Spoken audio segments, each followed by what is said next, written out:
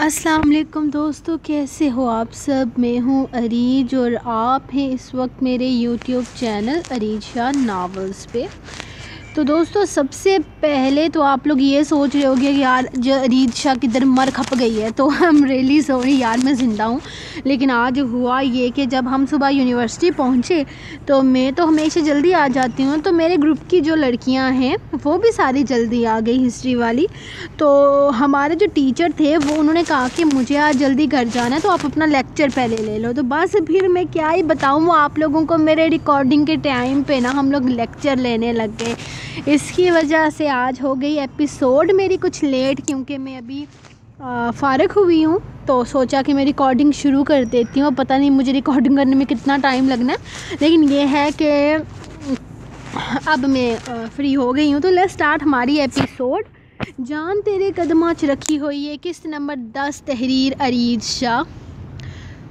आज निकाह था और वो सब लोग निकाह के लिए जाहिद मामू के घर आए हुए थे।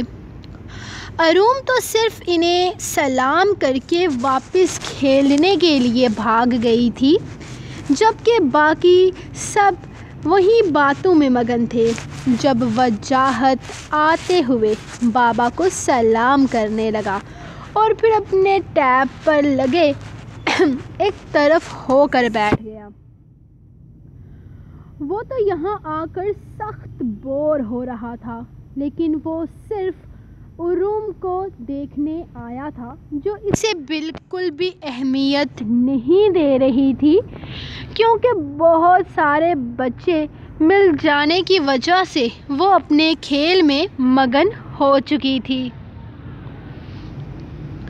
पकड़ लूँगी। एक मिनट रुको, मैं आ रही हूँ। वो वहीं रिश्तेदारों के बच्चों के साथ खेल रही थी, जब अचानक ही वजाहत ने इसके बाजू को पकड़कर उसे खींचा। आराम से बैठ जाओ अरुम तुम कोई छोटी बच्ची नहीं हो। क्यों इतना शोर मचा रही हो और इस तरह उछल कूद कर रही हो? मुझे ये सब कुछ पसंद नहीं है।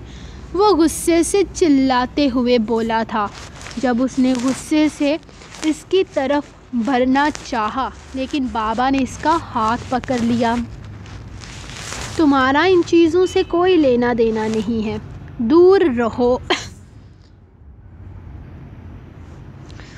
अगर इसका बाप नहीं रोकता तो हमें क्या फ़र्क पड़ता है? बाबा ने सख्ती से कहा था। बाबा इस लड़के को बात करने की तमीज़ नहीं है। एक बच्ची से इस तरह से बात की जाती है। वो अपने खेल में मगन है। इसे सुकून से खेलने तो दे। इसे एतराज़ था, लेकिन बाबा इसे एतराज़ उठाने नहीं दे रहे थे। छोड़ो बेटा हम थोड़ी देर में वापस चले जाएँगे। वो इसे समझाते हुए बोले थे। वो बस इन्हें देखते हुए सॉरी, अरू, अरूज के पास आ बैठा था, जो दुल्हन बनी, बेहद प्यारी लग रही थी। हद है यार, इतनी सी उम्र में शादी करने की क्या तुक बनती है? तुम्हारी जगह मैं अगर होता तो कभी ज़िंदगी में निकाह नहीं करता। ये बा, क्या बात हुई? कॉलेज जाने से पहले निकाह फ़र्ज़ हो गया। क्या तुम इस निकाह से खुश हो? वो इसके पास बैठते हुए पूछने लगा। कोई फ़र्क नहीं पड़ता, शाजल भाई। मेरे खुश होने या ना होने से। सबके लिए तो बस ये बात अहमियत रखती है। कि मैं को एजुकेशन में जाकर कोई गलत कदम ना उठा दूँ। इसीलिए पहले निकाह होगा। बाकी सब कुछ बाद में।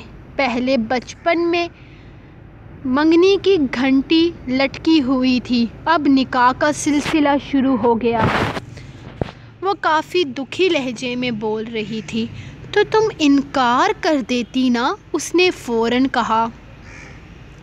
अगर मेरे इनकार की कोई अहमियत होती ना तो मैं कब का इनकार कर चुकी होती। लेकिन यहाँ तो कभी किसी ने मुझसे पूछा ही नहीं है। आपको लगता है वजाहत में ऐसी कोई भी क्वालिटी है जो वो किसी लड़की को पसंद आ जा सके? लेकिन मेरे सर पर ये घंटी हमेशा से लटक रही है और हमेशा ऐसे ही लटकती रहेगी।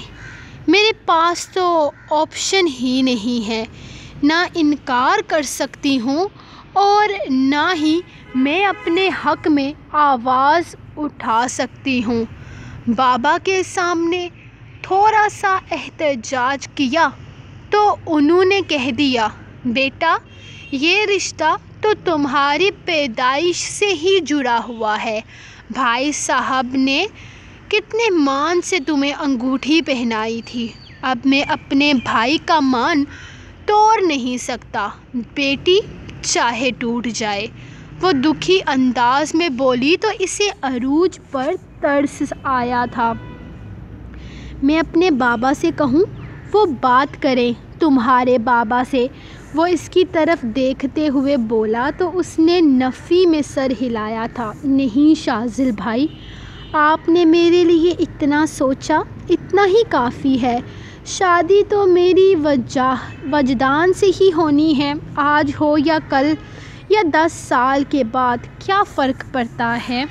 हाँ लेकिन मैं अपनी ज़िंदगी आज़ादी से जीना चाहती थी, जिसका हक मुझसे छीन लिया गया और इसका मुझे अफसोस रहेगा। लेकिन अपनी बहन के लिए दुआ करती हूँ कि इसके साथ इस तरह से कुछ भी ना हो। वो मुस्कुराते हुए बोली, जबकि वो खामोशी से इसके करीब से उठ गया था। निकाह बहुत सादगी से हुआ था। अरूज को एतराज़ था। शायद इतना ही वजदान को भी था। वो भी इस निकाह से बिल्कुल भी खुश नज़र नहीं आ रहा था, लेकिन उसने नोट किया था। वजदान काफ़ी हद, लिहाज से वजाहत से बेहतर था। वो ना तो अरूज पर रोक टोक करता था और ना ही बेवजह की बातों में घुसता था। वो, और इसे देखकर लगता भी नहीं था कि वो इस निकाह के लिए राज़ी है। यही लग रहा था कि इसे भी ज़बरदस्ती यहाँ निकाह के लिए बिठाया गया है। भाई साहब, मैं क्या कह रही थी? क्यों ना अरूम और वजाहत का भी निकाह कर देते हैं?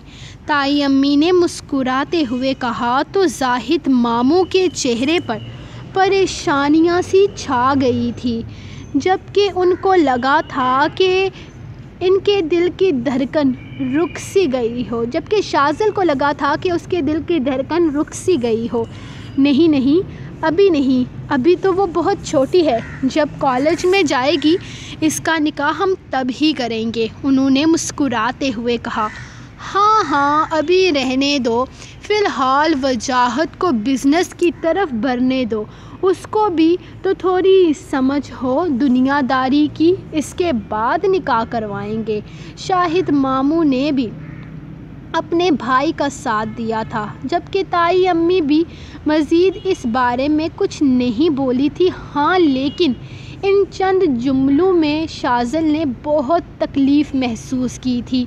ऐसा लग रहा था जैसे इससे इसकी ज़िंदगी की तमाम खुशियाँ छिन जाने की बात की गई हो और वो अपने साथ ऐसा कभी भी नहीं होने देने वाला था।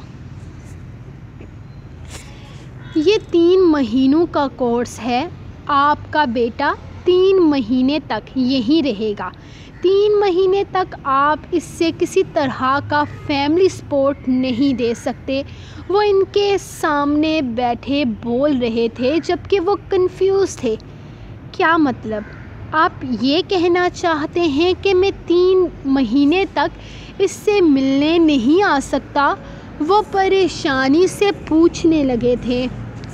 जी हाँ मैं यही कहना चाहता हूँ कि तीन महीने तक इससे मिल नहीं सकते। जब तीन महीने के बाद इससे मिलेंगे, तब आपको खुद ब खुद इसमें एक बदलाव नज़र आएगा। यह हर तरीके का नशा छोड़ चुका होगा और मेरे ख़्याल में तीन महीने तो आप अपने बेटे की नई ज़िंदगी के लिए दे ही सकते हैं। वो इनकी तरफ़ देखते हुए बोल रहे थे, जबकि उन्होंने सिर्फ़ हाँ में सर हिलाया था। हाँ मैं अपने बेटे की बेहतर ज़िंदगी के लिए तीन महीने का इंतज़ार कर सकता हूँ, लेकिन इन तीन महीनों में मेरा बेटा ठीक तो हो जाएगा ना? वो एक दफ़ा फिर से यकीन दहानी चाहते थे इन आपका बेटा बिल्कुल ठीक हो जाएगा। आप परेशान मत हों, आप देख लीजिएगा। थोड़े ही अरसे में हम, आपका बेटा एकदम ठीक हो जाएगा। आप ख़ुद अपने बेटे को देख कर हैरान रह जाएँगे। तीन महीने के, तीन महीने आपके बेटे को नई ज़िंदगी देंगे। आप ख़ुद अपने बेटे की जिन, अपने बेटे को ज़िंदगी की तरफ़ लौटे देखेंगे। वो पूरा यकीन दिला रहे थे।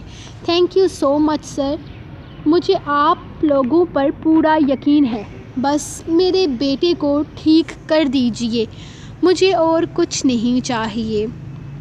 वो इस वक्त अंदर इन लोगों के ऑफ़िस में थे, जबकि शाजल अपना कमरा देखने गया था। इसलिए वो पुरसकून होकर इन लोगों से बात कर रहे थे। वो अपने बेटे को किसी तरह की कोई तकलीफ़ नहीं देना चाहते थे और ये बात उन्होंने पहले क्लियर की थी। वो सिर्फ़ इसका नशा छरवाना चाहते थे और इन लोगों ने दावा किया था कि वो इसे किसी तरह का टॉर्चर नहीं करेंगे और ना ही इसे यहाँ रहने में कोई मसला पेश आएगा। वो इन लोगों पर यकीन कर रहे थे, सिर्फ़ अपने बेटे की खातिर, क्योंकि वो अपने बेटे को सिर्फ़ एक नॉर्मल ज़िंदगी जीते देखना चाहते थे। इसकी ज़िंदगी से ये नशे जैसी लानत ख़त्म करके फेंक देना चाहते थे, और इन्हें यकीन था कि जल्द ही इनका बेटा ठीक हो जाएगा। बस इन्हें अपने बेटे से तीन महीने के लिए दूर रहना पड़ेगा। बेशक वो अपने बेटे से ना मिले, लेकिन इसे देखने के लिए आने का पूरा इरादा रखते थे। वो अपने बेटे से बे इंतहा मोहब्बत करते थे और हरगिज़ इससे दूर नहीं रह सकते थे और ना ही वो इससे बेखबर रहने का इरादा रखते थे। बस ये तीन महीने मुश्किल थे और फिर इन लोगों ने इनके बेटे ने बिल्कुल ठीक होकर इनके पास आ जाना था। डैड, कमरा मुझे कुछ ख़ास पसंद नहीं आया और मेरे कमरे में एसी नहीं है। उसको बेहतर करवाएँ और मैं अपना रूम किसी के साथ शेयर नहीं करूँगा। वहाँ दो बेड क्यों लगे हुए हैं? वो इनके पास आते हुए कह रहा था। जबकि उन्होंने पीछे खड़े मैनेजर को देखा था। मेरे बेटे को अकेले रहने की आदत है। वो किसी के साथ कमरा शेयर नहीं करेगा। अब वो दूसरा बेड हटवाएँ वहाँ से। वो इसे देखते हुए कहने लगे थे डोंट वरी सर वहाँ कोई दूसरा इंसान नहीं है। बस वहाँ एक एक्स्ट्रा बेड लगवाया है। हाँ तो बेड हटवा दो। वहाँ से मैं किसी के साथ रूम शेयर नहीं करूँगा और ना ही मुझे अपने कमरे में कोई एक्स्ट्रा चीज़ पसंद है। वो इसकी तरफ़ देखते हुए बोला था। एक तो इसे कमरा पसंद नहीं आया था और ऊपर से इसके कमरे में फालतू चीज़ें थी। यू डोंट वरी सर हम सब कुछ हटवा देंगे। वहाँ से आप रिलैक्स होकर आराम करें। यू डोंट वरी सर हम सब कुछ हटवा देंगे। वहाँ से आप रिलैक्स होकर आराम करें। इस आदमी ने कहा था, जबकि बाबा को भी यही लग रहा था कि इस कमरे में रहना उसके लिए थोड़ा मुश्किल हो जाएगा। आप हटवाएँ इसके कमरे से सारी चीज़ें। और अगर आप कहेंगे तो मैं अपने बेटे की पसंद के मुताबिक इसके फर्नीचर के लिए भी एक्स्ट्रा चार्जेस भी दे दूँगा। लेकिन कमरा बिल्कुल मेरे बेटे की पसंद के एन मुताबिक होना चाहिए। वो इसकी तरफ़ देखते हुए कह रहे थे। डोंट वरी सर, आपके बेटे की पसंद के मुताबिक होगा। आप परेशान मत हो। हम आज ही इनके कमरे से सारी फ़ालतू चीज़ें हटवा देंगे। इनके पसंद के मुताबिक इनके कमरे को तैयार करवा देंगे। आपके बेटे को यहाँ रहते हुए कोई मसला नहीं होगा। बिल्कुल बेफ़िक्र हो जाएँ। वो यकीन दिलाते हुए खड़े कुछ लड़कों को इशारा कर रहे थे ख़ास करके कमरे से हर तरह का फ़ालतू सामान हटा दो। वहाँ पर कुछ भी ऐसा नहीं होना चाहिए जो शाहजल साहब को पसंद ना हो। कमरे को बिल्कुल इनकी पसंद के मुताबिक तैयार कर दो। ओके बाबा, आप जाएँ, मैं सब कुछ देख लूँगा। अपना ख्याल रखिएगा और दवाइयाँ अपने वक्त पर लीजिएगा। मुझे ज़्यादा मिस करने की ज़रूरत नहीं और संडे से पहले मुझसे मिलने के लिए ना आइएगा। वो इन्हें लेते हुए बाहर की तरफ़ जाने लगा था। संडे का तो मैं कुछ नहीं कह सकता, क्योंकि इन लोगों ने कहा है कि ये कोर्स तीन महीने का है और तीन महीने तक मुलाकात नहीं करनी। वो बड़ी उदासी से इसे बता रहे थे, जबकि वो एक झटके से मुड़ा। इनको देखने लगा, क्या मतलब है? आपकी इस बात का आप तीन महीने तक मुझसे मिलने के लिए नहीं आएँगे। डैड, आप मेरे बगैर रह तो लेंगे ना?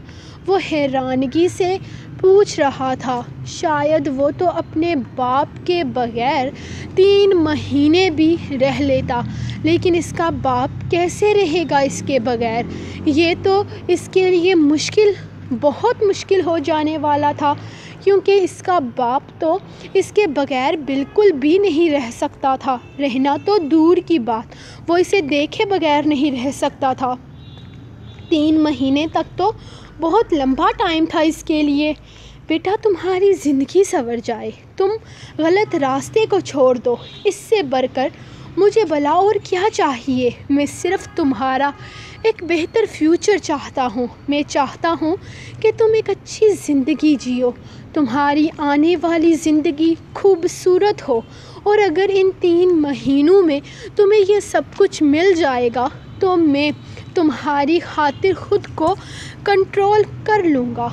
हाँ मैं रह लूँगा तुम्हारे बगैर। मैं सब कुछ बर्दाश्त कर लूँगा, बस तुम ठीक हो जाओ। वो एक उम्मीद से कह रहे थे। उन्होंने इसकी खातिर अपनी बाहें फैलाई तो वो अगले ही लम्हे इनके सीने से लग गया था। वो जानता था, इसके लिए तीन महीने का ये पीरियड शायद इतना मुश्किल ना हो, लेकिन इसके बाप के लिए बहुत मुश्किल था। वो तो इसे देखे बगैर सुकून से सोता नहीं था, लेकिन अपने बाप की खातिर वो ये करने को तैयार हो गया था। हालाँकि वो जानता था कि दुनिया की कोई ताकत इसका नशा छड़वा नहीं सकती वो जानता था इसका बाप बहुत मुश्किल से ये वक्त गुजारने वाला है, वो बहुत मुश्किल से रहने वाला है इसके बगैर। लेकिन वो अपने दिल पर पत्थर रखने के लिए तैयार था, सिर्फ़ और सिर्फ़ इसके बेहतर मुस्तकबल के लिए। तो वो भी तो अपने बाप को खुश करने के लिए ये तीन महीने का कोर्स मुकम्मल कर सकता था। ठीक है डैड, अब जाइए। आप ज़रूरत से ज़्यादा इमोशनल हो रहे हैं और मुझे भी कर रहे हैं। तीन महीने के लिए ही मुलाकात बंद हुई है। सारी ज़िंदगी के लिए नहीं, फजूल में रोना धोना बंद करें। वो अपना, अपने हाथ इसके गिर, इनके गिर्द से हटाते हुए इनके हाथों को भी ज़बरदस्ती हटा चुका था। जाइए, तीन महीने के बाद आइएगा। और हाँ मेरा बाकी का सामान भेज दीजिएगा जिसकी मुझे यहाँ ज़रूरत पड़ सकती है। वो सिर्फ़ एक हफ़्ते के मुताबिक ही अपना सामान लेकर आया था। आप ऐसा कीजिएगा कि मेरा बैग भेज दीजिएगा, जिसमें मेरी ज़रूरत की सारी चीज़ें, सारा सामान मौजूद हो। बाकी मैं मंगवाता रहूँगा। वो इन्हें जाने के लिए कहता, ख़ुद अंदर की जानब जा चुका था, जबकि वो कितनी ही देर दरवाज़े पर खड़े इसे देखते रहे थे, लेकिन उसने पलट कर नहीं देखा। सो गाइस फाइनली मेरी रिकॉर्डिंग कंप्लीट हो गई है तो है। आज की रिकॉर्डिंग मैंने जितनी मुश्किल से की, आप लोग अंदाज़ा नहीं लगा सकते। हर थोड़ी देर में कोई ना कोई आ रहा है, हर थोड़ी देर में कोई ना कोई आ रहा है। इतनी मुश्किल से हुई है आज की रिकॉर्डिंग पर शुक्र है, हो गई है। कल से मैं बड़ा घर पर ही सारा काम करके आऊँगी। यहाँ पर आकर मैं यूनी के लिए मैं कोई काम नहीं छोड़ूँगी।